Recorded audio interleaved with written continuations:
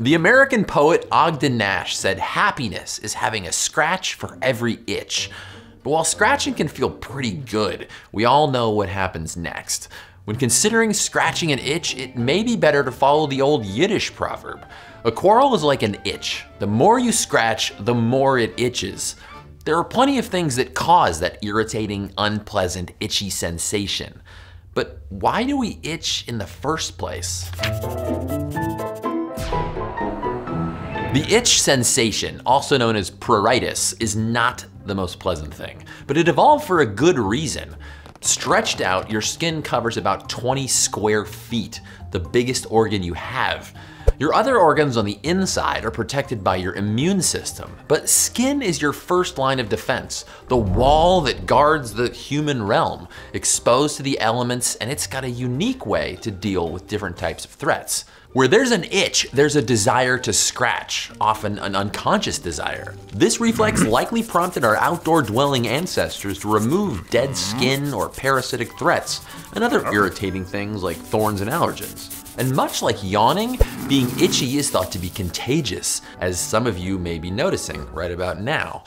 We're social animals, so watching some infested tribe mate get their scratch on could have given us a head start to get rid of those parasites. So we know the purpose of itch, but what happens inside our bodies that makes it feel different from other sensations like pressure or heat? Turns out we don't know all the pieces to the itch puzzle yet. Up until about a decade ago, scientists thought itch was just a dialed down, less intense version of pain. When something makes contact with our bodies, nerve endings in the epidermis, the outermost layer of our skin, relay this information through electrical and chemical messages up the spine and to the brain. Different stimuli activate different nerve pathways and cause different sensations in our brains. Light touch might feel nice. A punch to the face will probably hurt. We now know that there's special itch-specific circuitry in our nervous systems involving its own chemicals and cells, and we share one universal response to itching, scratching. And boy does it feel good. But why?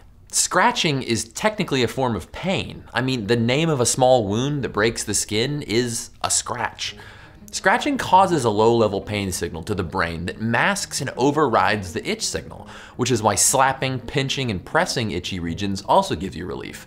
Remember that the next time your mom tells you not to scratch. Your brain responds to pain by triggering the release of chemicals at the irritated site, which tunes down the painful sensation. One of those relief providing chemicals is serotonin, a neurotransmitter. But that serotonin also makes it easier for the itch signal to be re-triggered. So the itch nerves fire again and you get even itchier. Scientists call this constant loop of itching and scratching the itch-scratch cycle. Very clever.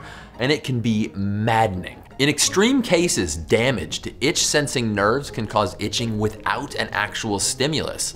This is the kind of itch that scratching can't help. People who have recovered from shingles, a virus infection that affects your nervous system, can be left with an unexplainable, never-ending itch once the rash recedes. One woman had such an itchy scalp after healing from shingles, she scratched straight through to her brain. What? So what can the rest of us do to avoid scratching an itch?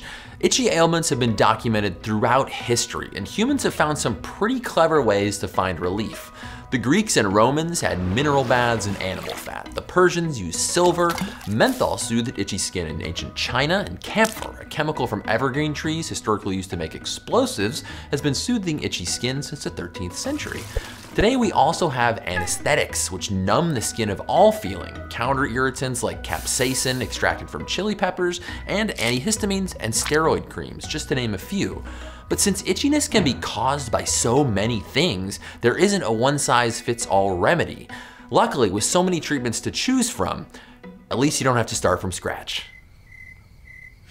If you're itchy, just remember, unlike beauty, itch doesn't run only skin deep. It's a sensation that reaches from the epidermis to the brain.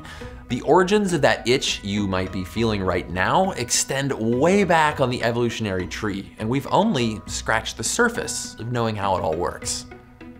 Stay curious. Oh, and here's a video challenge for you. Rewatch this without itching yourself uncontrollably.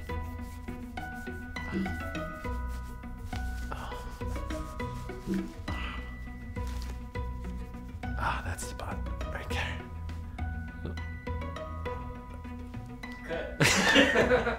Hey guys, I wanted to tell you about another great channel that's part of the PBS Digital Studios family. Check out Above the Noise. It's a channel that cuts through the hype about the news so that you can understand the facts behind it and how they relate to your life. I recently helped them out on an episode about why only some countries have nuclear weapons. We'll leave a link down in the description so you can check them out.